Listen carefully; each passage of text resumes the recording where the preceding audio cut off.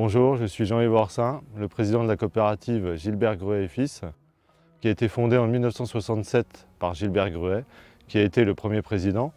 Donc je suis le troisième président. Il y a une centaine d'associés coopérateurs pour une surface de 112 hectares.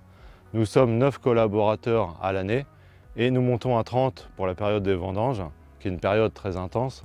Nous sommes sur un terroir de chardonnay à 80%, avec, euh, qui donne un goût euh, minéral et très frais car nous avons un microclimat euh, spécifique quand même à notre région du Cézanais. La coopérative est certifiée à 80% VDC HVE. Nous sommes une des coopératives les plus certifiées de Champagne. La vendange s'annonce abondante et qualitative malgré une météo chahutée au mois d'août qui faisait craindre des foyers de botrytis. Mais le beau temps, heureusement, est revenu et qui a fait disparaître nos craintes.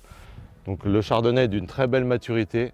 D'ailleurs, la qualité de nos chardonnays est très convoitée par de grandes maisons de champagne. Nous souhaitons développer la commercialisation afin de mettre en avant notre marque et satisfaire nos partenaires, nos associés coopérateurs. Donc maintenant, je vais laisser la parole à Delphine qui va vous expliquer euh, son travail, son très beau travail afin de valoriser notre marque. Bonjour, je m'appelle Delphine Gruet, euh, je suis œnologue et je travaille à la coopérative ECB depuis 2020.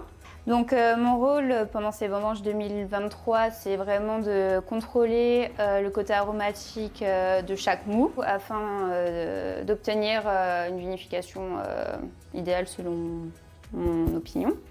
Et, du coup, par la suite, faire des champagnes à la convenance de nos clients.